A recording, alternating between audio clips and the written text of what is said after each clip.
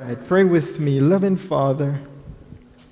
I would that you would empty me of self, even this very moment. I would that you would uh, show up in this place like you've never done before. God, I just want to thank you. And I want to glorify your holy name for being God. Just the fact that you are God.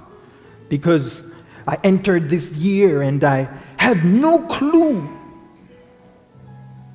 that I will be standing here today, but I am assured that you, you know, you knew that I was going to be here.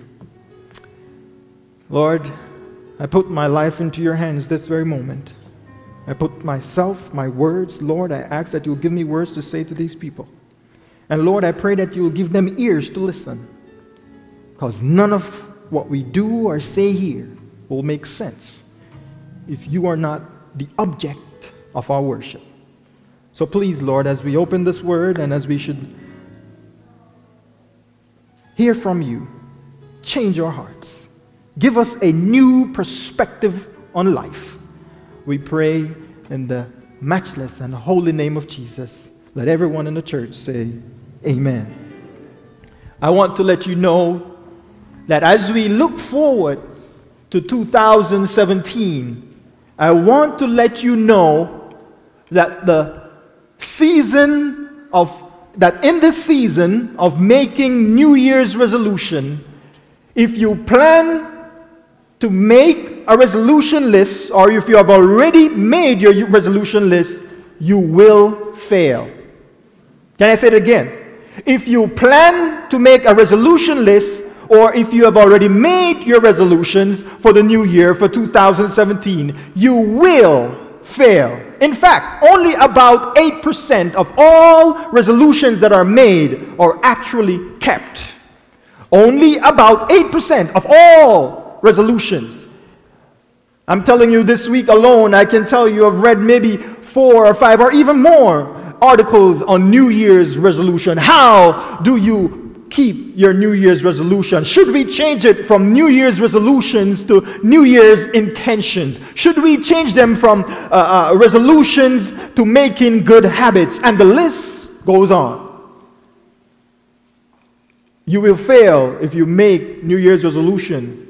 But if you do these three things, if you consider these three things, you will come out on the better side, on the winning side. Turn your Bibles with me to the book of Matthew. I'm, I'm sorry, book of Mark. And as we go through this message, I want you to know that I myself, me, right here, looking at you, probably had my New Year's resolution list since January 2nd of this year because it was the list for last year. And I dropped off the first day, so I put it down and said, you know what? I will make the list next year. And so it was ready. And it's ready and sitting there waiting for 2017. But you and I know that it takes more work to pay attention to what's on that list than it is to do anything else. You see, when you make a New Year's resolution, you are actually motivated by you and only you, or maybe the folks around you who don't really care much about you. But yes, you make resolution to please them. That's some of the things that New Year's resolution bring to the table. But I want you to see if Jesus have a different perspective on how we should look at life. I want you to, to actually look if, if, there, if there was a place in the passage of Scripture that, that, that Jesus actually says to, to, to, to, to his disciples or to anyone else, this is how you do life. Well, the book of Matthew, Matthew chapter 8. I, I, I, I, was reading through this book uh, throughout the year, and we have been praying. Uh, uh, uh um, we've been praying on Wednesday night uh, with the book Steps to Christ. And the two, both the book of Matthew and, and Steps to Christ, led me to this conclusion. I like the book of, Math, uh, book of Mark, and, and, and, and the way how Mark put things is this. He, he started off the book, that started off the, the, the story or the account of Jesus by letting us see the bigger picture of God's glory. He shows us how powerful God is when it comes on to uh, uh, uh, talking to a storm and, and having the sea quiet at his voice. He, he showed us that Jesus can actually just show up in the synagogue and the demons could identify that he is indeed the Son of God. He showed us in, in his encounter in the first eight chapter of the book of Mark, we see that Jesus is a powerful God, that this is what he does. He healed the sick, he cast out demons, and even the wind and the wave obey his voice. He fed 5,000. Yes, he did it again, and he fed another 4,000. He healed a blind man. All of this leading up to this point. Pick me up at verse 27 of Matthew chapter 8. Now Jesus and his disciples went out to the towns of Caesarea Philippi.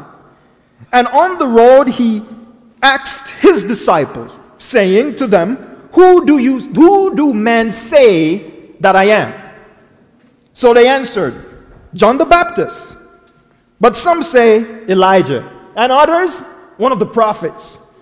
All of these answers, my friends, do tell us one thing about what the people think. At least they have gotten the message thus far. Jesus is powerful. Jesus is powerful.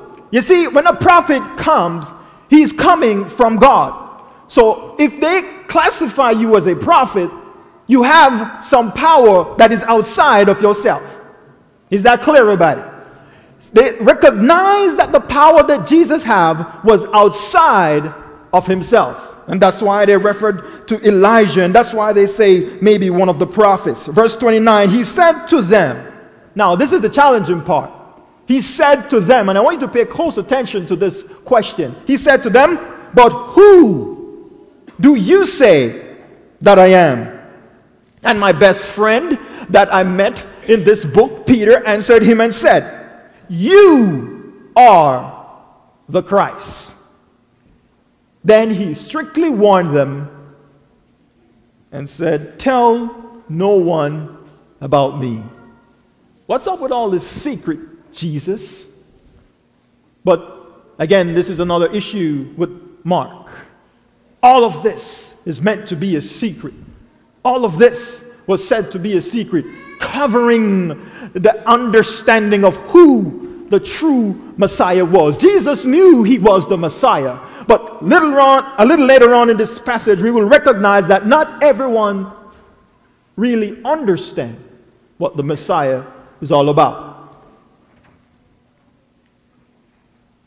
Let's look at verse 31. And he began to teach them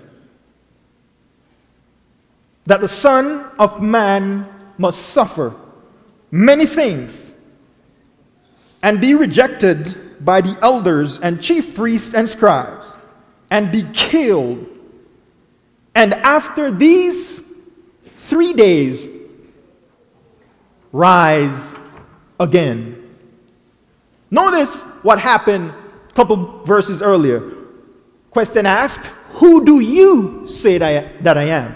Peter, you are the Christ. And now Jesus saying, Well, the Son of Man must suffer many things and be rejected by the elders and chief priests and scribes and be killed and after three days rise again. I don't understand this Jesus. It seems as if you acknowledge that you are the Messiah when you said, okay, tell no one. But yet you're telling us about the Messiah or the Son of Man suffering. What is this suffering all about, Jesus? It's complicated. He probably responded. He didn't say that. The Bible says he did this openly. I want to bring this to your attention that before this account, Jesus speak to the different groups of people different messages. There's a message for the Jews, there's a message for the Gentile. But this message was given to a collective group, Jews and Gentiles alike. Everyone was represented there. You and I were represented right at that very moment. Then Peter took him aside and said, and rebuked him, saying, and started to rebuke him and starting to tell him his heart's desire. I want you to go into Peter's shoes this very moment to understand why Peter would rebuke Jesus. Why would he start rebuking Jesus after Jesus mentioned suffering? You see, Peter was there with Jesus when all of this wonderful things were happening, when all the miracles and all the healing was happening. And Peter was there and he thought that he had this all in the pocket. He thought he knew that one day soon he will be sitting beside Jesus, the new earthly king. I do want you to remember that some of us have experienced the power of God in your life throughout this past year thus far. I want you to reflect on the fact that Peter represented you in that you were there when you have some storms in your life and God came out and calm it for you. I want you to recognize that Jesus was there when you were lonely and have no one to talk to. Yes, he met some folks by the wayside. Yes, folks reached out to him and touched his garment. I want you to reflect on the fact that sometime this year you felt at some point that you had to reach out and touch Jesus' robe. Yes, it was there. Yes, you were there. I want you to know, Sister Diana, that this week, while you were traveling and going down to Mishawaka, and I'm on the phone with her, and it, I felt like I was there when she had a close call with what could have been death. I felt it right through the phone as her and her husband was down in Mishawaka taking care of some things, and I was talking to her, and I felt it. The car was right in our lane. After the gasp, that was the first words they said. Thank you, Jesus. That has to be God. I wonder how many of us have moments like these throughout this past year. Maybe a lot of us. But I know that there are times that throughout this year you, you didn't hold on to those moments. You praise God. And if I ask five or six, or maybe seven or eight or nine or ten of you, or maybe if I ask all of you, you'll say, I had my moment. And, and what I did in my moment was to raise in singing, I serve a risen Savior. He's in this world today. I know that He is leading. Whatever man may say, I can see His hands of mercy. I can hear His voice of cheer. And just the time you need Him, He's always there. He lives. He lives. And that's what Peter had in the back of his mind. The God that I have been, the, the, the man or the friend that I've been walking side by side with, he's been here. And I know he's going to be around for a long time. And that's, that's how you felt this week in those comfortable positions. But look at this. This Peter, who experienced so much power, called Jesus to the side to rebuke him. My question to you in spite of all those opportunities or those places where you glorified God, where you saw that God was working, where are those moments this year that you rebuked him? Or you called him to the side and says, I don't know if I don't know if this is the right thing, Jesus. I, am not ready for this. Where, where, where, can you reflect on those moments? I was there, my friends. There were times when I thought that, no, no, no, Jesus, you can't leave me hanging here like this. You had those moments. We all do. Let's continue to read. Jesus, after uh, Peter was uh, rebuking him, said to him, Jesus just recognized what was going on here right away. He says, uh, uh, Get behind me, Satan, for you are not mindful of the things of God, but the things of men. Notice what Jesus did. He turned his back, he looked to the crowd, and says, Get behind me, Satan.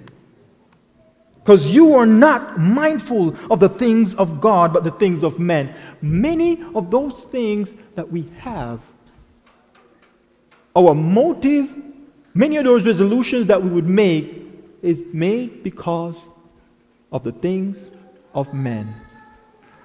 When we make our New, Year's resolution, we put on, we look in the mirror and we said, "Oh no, this weight has to go." Or where we say, you know what, I have to work out to fit in this dress for the next prom or whatever the case might be. All of this is me motivated, self motivated. It's all because of me. Peter confessed that, he, that Jesus is the Messiah because of his personal interests. He wanted a Messiah that would give him a position in the, in the kingdom. And so it is that we have a representative in Peter in this account because he's standing there saying that, hey, I need my Messiah to be alive. Don't talk about suffering. Don't talk about being killed because I will be losing out on a prized possession. That's why your New Year's resolution will fail. Because at the end of the day, you sat down and you, you went on Facebook and you searched for the guy that you like to marry. Hello, somebody. Or you search for the girl and he says, All right, I'm working out for this one. I'm going to get that protein, right, Rondi? I'm going to beat that protein shake and I'm going to lift that weight. You see, but, but, but, but, but you see, it's self motivated, self interest. You go and you buy that jogging shoes and you, bought, you go and you go buy those yoga pants. And you get in your yoga pants and you just look for Andrews. And you just wait until the seminar is out and you just strut right across. You know when classes are out, self motivated, self interest. That's why you made that New Year's resolution. Am I talking to somebody? Maybe not about the yoga pants, maybe not. Right? Maybe I'm not about, not about the pants, but I'm talking to somebody, right? Okay. That's Peter. That's our representative in this account. But this is what happened. Jesus pulled the, gr- the crowds together and he said, He's, the Bible says, verse 34, let's keep going. When he had called the people to himself, with his disciples also, he said to them these three things Whoever desires to come after me. This is a very bold step for Jesus to be asking people to come after him at this moment. You don't call people to come after you when there's a reigning empire, a reigning Roman empire. And Jesus boldly, boldly said to these folks, Whoever is going to come after me, whoever desire to come after me, let him deny himself. That's one of your three things. Deny yourself. Now, what does this denying mean? Oh, we Adventists, we know how to do this denying. We, we, we specialize in de- denying. But I want to tell you, I just want to just muddy your water a little bit. This denying is not talking about you trying to get rid of your cheese for the New Year's. This denying is not talking about trying to cut the salt for the New Year's. This denying is not, is not, is not talking about uh, uh, uh, getting rid of that thing you have in the fridge legs and wings. This denying is not talking about any form of ascetic living where you, you pack your things up and you, you leave and you go live in the woods in Tennessee off the grid. I might need to cut that out. This denying is not talking about robbing yourself of pleasure. Neither it is, it, is it denying or is it saying you should hate yourself. No. But what is it then? Since it's not all that, this is what it is. This denying of self is denying something to the self. Let me say it again. It is not the denying of something to the self, but it is denying the self itself. Did you get it? It is not denying the chocolate to the self, but it is denying the self that wants the chocolate. It is not denying something to the self, but denying the self itself. One of American greatest or one of American brightest, Lindsay Lohan, in 2011, she got into trouble because she went into the store and she is an actress, by the way, but this is what an actress did. She did this. She went into the store and she stole some necklace. Now, this, the necklace that Lindsay Lohan stole, it's not the necklace you pick up at Walmart, okay? It was, it was a good price type of necklace. But, but, but Lindsay Lohan was, was tried and she was uh, blaming the media and she was blaming the criminal justice system. And she eventually said this. She said this after being sentenced for, this is her sentence, by the way. This, listen to this sentence for, for stealing the necklace. I believe that if some, some of us, maybe myself, if I stole the necklace and give it to my wife, uh, uh, you know, my, my sentence wouldn't sound like this. She was sentenced to 12 hour shifts 12 hour shifts working at a mortuary. Well, that sounds a bit weird. Working with dead bodies, 12 hour shifts for four months. After a few weeks, Lindsay Lohan says, It's not worth it. I've learned. I've learned. And something got to change, and it's me, myself. She said that. After 12, working 12 hour shifts at a mortuary, I believe for me, maybe the first day at work, I'll figure out that. Denying ourselves do not take a year to figure out when something is wrong in our lives. But there's another thing. We're in the selfie age. Come on, put your hands up if you took your selfie this morning before you come to church. All right, never mind. You're not going to do that. But we're in what is called the selfie age. A selfie age. What is the selfie age? Apps are created based on selfies. Yeah. So, for those of us who don't know what a, a selfie is, um, Enoch, can, do you know what a selfie is? I think you do. You, took, you, you take for selfies. You see, he knows. Selfie is you taking a picture of yourself. Right? I'm not going to say that. I'm not going to say that. But the thing is, what this selfie age is doing for us is pointing our eyes to us. You could do this. You have done this. And you will be able to do this. And so what happened is that self tapped me on my shoulder this week. And when I was there struggling and reading through this, self tapped me on the shoulder and says, But Dwight, you haven't been so bad after all this year. I said, What? What does that? What is that? You haven't been so bad. After all, you're still married. After all, you, you, you know, you, you, you, know you, you didn't cheat in your exams. You didn't get kicked out of the seminary. You're, you're doing pretty good. But I looked self on the other side. And I said, Were it not for grace, if it wasn't for Jesus, where would I have been? Self came and tried to get me to buy into the selfie stuff.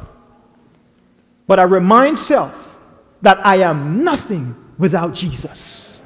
He should be the center. He should be the object of my worship. He should be the object of my, li- my living. Jesus should be the object of what I do day in, day out. My resolutions will not work, they will fail unless I consider these three things deny self. So I'm going to ask you I, saw, I found this little quote. It says here scientists prove that people who take six or more selfies in a day and upload them to the internet, they have serious mental disease. Now you could do further research on that, but it's kind of crazy because you take 59, you take 50 pictures and you delete all 50 of them, and then take another one, and then you delete that one. So my, my thing to you, uh, uh, uh, uh young folks, I know the young folks, y'all look good and everything. You look good, you look right, and, and God got you. All right? Your, your, your Facebook, you have your Facebook game, it's actually going. That's good. But guess what? Uh, get over this selfie stuff for a little bit. Maybe, this, maybe you would want to try this one here. The thing is that I'm trying to point you somewhere, I'm trying to point you somewhere else where you don't have to do all this work. Because you see, if you put up, uh, people go on your selfies and they make comments and they grade you. Okay? There's nothing like being graded by Jesus. Because guess what? You will always have a pass mark. Because you are not living, but it is Jesus that is living in you. So when you when you take a selfie and upload it to Jesus' internet, Jesus said, This is all right. I could work with this because I died for this. I died for you. And so the selfie that you put on Facebook and have people uh, uh, uh, running after you and trying to tell you all sort of stuff, and then you get crazy, and sometimes it drives a lot of young people to committing suicide. Hear me out. You will not commit suicide because Jesus paid too high a price for your life. Jesus should be the object of your selfie. Amen. If you make New Year's resolution this year, you will fail if you don't consider these three things. One, deny self. And two, take up your cross. Take up your cross. I know I'm running out of time, but it's all right. It's cold outside. You're not going anywhere, so might as well you just stay here with us. Um, take up your cross. So, selfie, by the way, let me leave you with this point here before we move on to take up your cross. To renounce self is to have Jesus as the dominant element in our lives. It is to replace self with God in Christ as the object of our affections it is to place the divine will of God before my personal will. To deny oneself is this, is simple this, to accept God's point of view about you. No longer should you go into Facebook looking for the comments to see what people thinks of you, but you should accept God's point of view about you.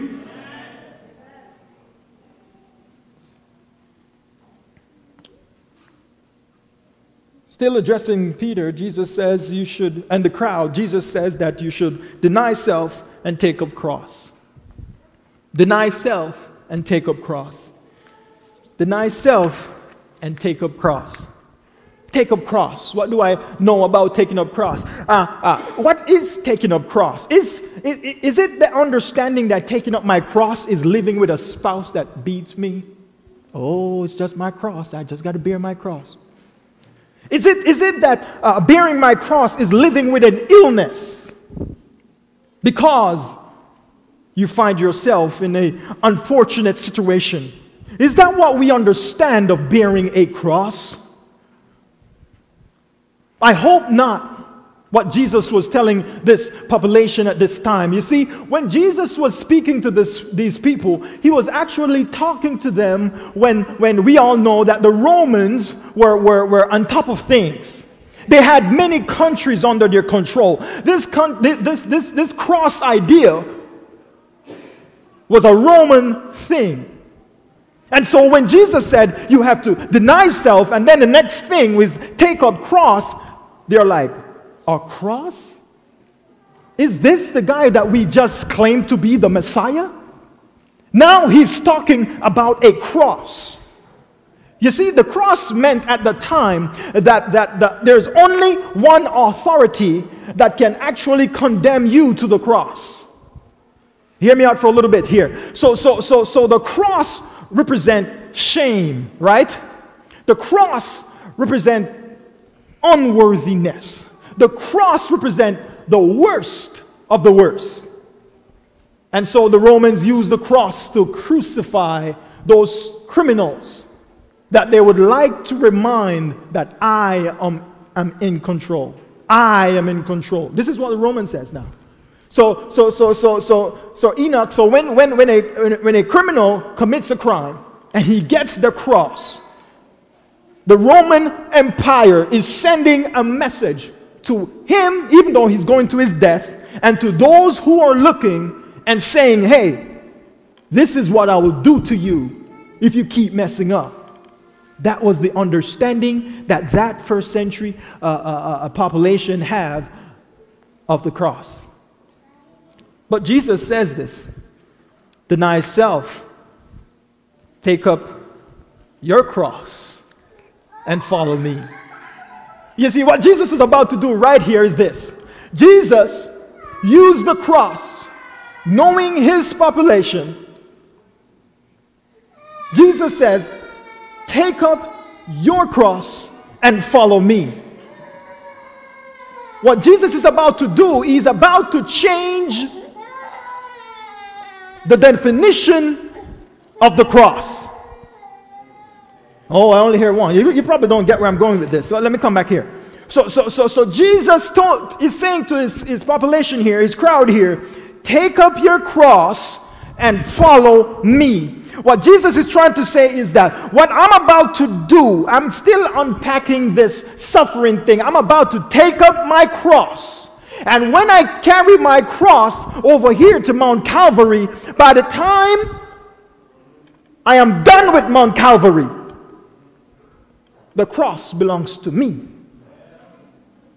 And so, what Jesus did, he's saying that, hey, hey, if, if, if, if, if, if you know that, that the earthly cross or this cross belongs to the Roman authority, if you follow me, the cross that you will bear has my authority. It's all right, you could just go and um, let it simmer later when you get home. Uh, uh, uh, but, but what Jesus is doing here for his people is to, to let them know that you no longer live by this cross. Yes, this cross will bring you to your earthly death. Yes, this cross will bring shame to you. But I am telling you something. I today will change, or when I go through my suffering, will change the meaning of this cross. Take up your cross and follow me. I must tell you this for you to bear a cross at that time, even though you are a guilty criminal, you would kind of say, No, I can't do this. But we're fighting about that same battle today. It says this here the warfare against self is the greatest battle that one can ever fought. The reason why you have yet, as a church member, as a member of this church, the reason why you haven't taken up your cross or even though this year, God, God, grace brought you this far, but you probably left your beam, your cross beam, back in January. You started the year and you were supposed to bear a cross, but you left the beam all the way back in March. But you find yourself here because of grace. Self self have you put that cross down. But now that you are here, I'm kind of giving you one more challenge, and that challenge is take up your cross and follow him. Following him is very easy. Following Jesus is very easy. I'm closing here. Following Jesus is very easy. What happened is with the two, denying self, it's automatic to take up your cross. Because when you deny self, it's no longer you that lives, it's Jesus that lives. You would have responded to Matthew 11, uh, verse 20, 28. You would have come because you are weary and you are heavy laden and you have entered now into rest. And so your cross is not as heavy as Jesus' cross. Your cross is light because Jesus' burden is light. Your cross is just to make that decision to follow Jesus. Follow him right into death. That's a resolution. That's something that's better than a resolution. To deny self, to take up cross and follow him. I would like to follow Jesus. Is there anyone here like to follow Jesus? Amen. This is what Auntie Ellen says. She says this. Come on, read with me, everyone. Your promises and resolutions are like ropes of sand. You cannot control your thoughts, your impulses, your affections, the knowledge of your broken promises and forfeited pledges. Weaken your confidence in your own sincerity and cause you to feel that God cannot accept you. Your resolutions, your New Year's resolutions are like ropes of sand. You is created to fail you. You failed you. It's your resolutions. But if we give Jesus a chance, but she says this be not despair. Do not be despair. Because you can do nothing by yourself. Because we have a Jesus who is, an, is our advocate with the Father. And he's there ready to lift our heavy burdens. I would like to challenge you this this afternoon to give Jesus a second chance. I would like for you to do these three things instead of taking on another list of New Year's resolution. I'd like for you to do these things, my friend. Take up cross, I mean deny self, take up cross, and follow him. Is that all right? Can we do that? All nations, can we do that? Can we deny self, take up cross and follow him this year? I think we can. We can not because of me and not because of myself, but because of Jesus. Because of the King of Kings. Because of the Lord of Lords. Why don't you stand with me this morning, this afternoon?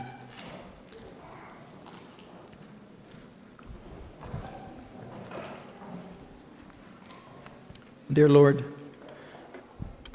this morning, this afternoon, God, we just want to, we want to thank you, Lord, that uh, you give us an example in Peter and the other guys and all the, the crowd that was around you that time. God, we thank you that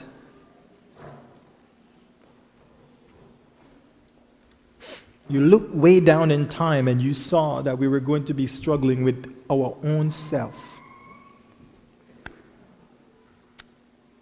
And you gave us these three things. You said if we just deny who ourself is, if we just deny our own personal interests, if we just deny our own our plans and just look at your point of view and follow you, take up our cross and follow you, everything will be all right. You made me, you made all of us who we are, where we find ourselves, and the world cannot. The world cannot tell us who we really are. Only you, God.